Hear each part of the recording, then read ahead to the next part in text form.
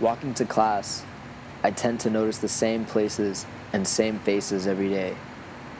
I noticed Omar a block away from the corner of Broad and Belvedere.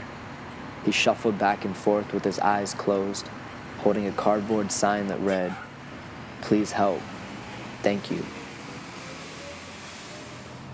I approached him asking if he was hungry and if he wanted to get a bite to eat across the street. He smiled and said, Sure. We both crossed the street to get his jacket. That's when his uncle approached us.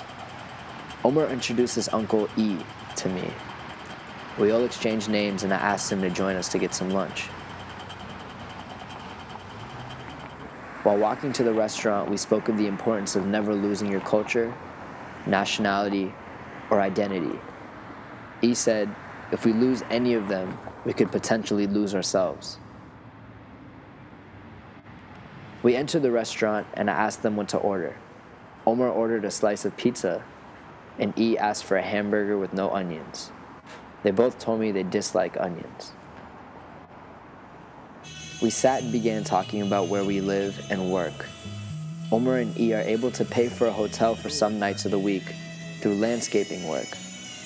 Omar is a natural born landscaper, telling me he can turn any bush into any kind of animal you want. We spoke of God. Omar and E used to pray every day to make their days go by quicker. Omar mentioned that he heard his name was in the Quran. I told him about Omar ibn al Khattab, one of the most powerful and influential caliphs in Muslim history. We spoke about friends, relationships, and health. He told me it's important to treat others like human beings. We spoke for an hour and our conversation was deep. I really connected with these two human beings who I usually walk right past every day. We became friends. We confided in each other and told each other our personal stories. I walked with them back to the corner. We shook hands and I gave E a hug. They both told me to come by sometime and say hello and to stop and chat.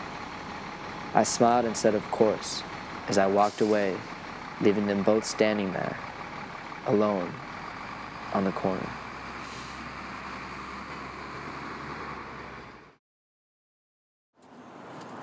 Omar, how's it going, man? Hey, you remember me? Hey, Yaz, remember we, uh, me and me and E, we got some food here at the chicken spot? Oh, yeah, yeah, yeah. Yeah, yeah. Yeah, how you been, man? That's good, man. Hey, I brought you a cheeseburger with uh, no onions. Just how you like them, man. Yeah, no problem, man. You take care out here, man. Yeah, yeah, I haven't seen E in a while. He in the program. Oh, yeah? Yeah, he in the program. That's good.